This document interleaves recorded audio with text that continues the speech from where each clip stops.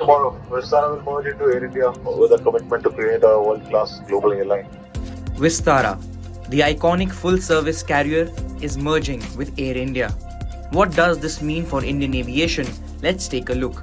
Vistara, launched in 2015, was a joint venture between Tata Sons and Singapore Airlines.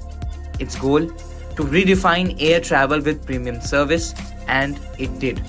On Sunday, as Vistara's final flight from Goa to Bengaluru landed, Kal Ho Na Ho played on board a nostalgic farewell to the carrier.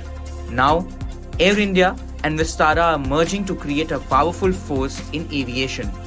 The merger goes into effect on November 12th. Singapore Airlines, a 49% stakeholder in Vistara, will now hold a 25% stake in Air India, making an additional investment of over rupees 3000 crores.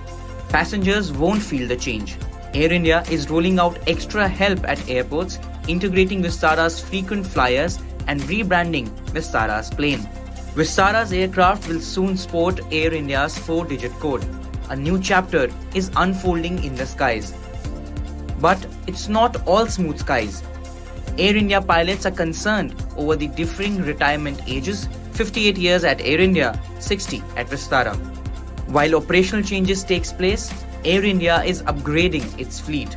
The airline is adding new A350s, flying routes like Delhi to London and Delhi to New York, as Vistara bids goodbye, local flyers are sharing memories, photos and stories, and a shared love for the service that made them special.